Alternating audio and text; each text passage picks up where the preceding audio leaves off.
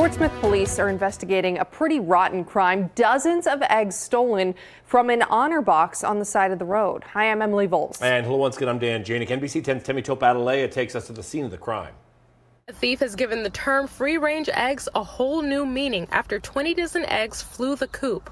Or make that Heidi Small's cooler. And I figured I'll stop real quick and check and grab the money. When I opened it up, there was only two dozen chicken eggs off to the side, and all the eggs were gone. Small is the owner of Keeeps Backyard on Strawberry Lane in Portsmouth. She didn't want to be on camera, but said this cooler was stocked with 24 dozen eggs on Sunday. By Monday morning, 20 dozen were missing, taken without payment. Small says people have stolen a carton here or there because they couldn't afford to pay. She was okay with that until it started getting out of hand, prompting her to put up this sign. It is what it is.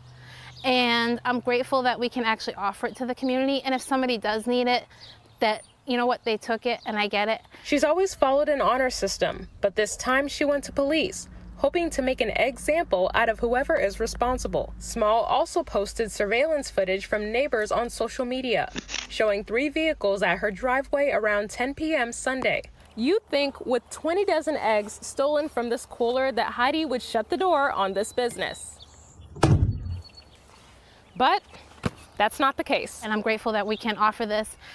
I'm also grateful because it gives my kids the opportunity um, to learn about business and have that business sent. It's a hands-on experience for them.